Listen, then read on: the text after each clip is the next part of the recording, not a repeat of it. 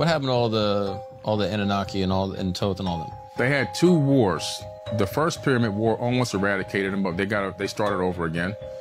The second pyramid war, bad. Hmm. That one almost decimated the planet. You see how when you look at Earth, like from Google Earth, you see a lot of those big deserts going across. People say, "Oh, that's just natural geological formations over time. This has become an arid desert." No, that's war. Hmm. If you go to Egypt and stick your hand deep in the sands, eventually you're going to come up with balls of glass. How can you get glass and sand? 3,000 plus degree temperatures. You go to Mohenjo-Daro in the Indus Valley, what are you going to see there? Dead bodies still in the streets from thousands of years ago, still holding hands, never been scavenged. The buildings that they lived in turned to glass. How can that be?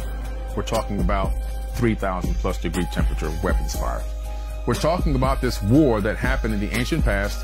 Amun Ra wanted to continue his, he started the first war to take over the earth early because he didn't want to wait for his processional period to, to rule. And then this is the guy who says you must say amen after everything. Say amen. Everything you give thanks for, you're saying amen to him. So when Yeah. you say amen, you're thanking him, by the way. A brutal killing guy. But anyway, so he says it's a fact. He- So he's he's he, he, he started one war to take over early, which he won. Yeah. He then started a second war to stay in power. And, In that second war, he escaped.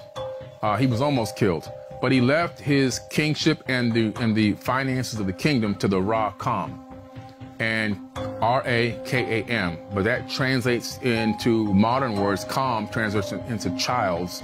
So now you translate Ra childs, Ra childs. oh,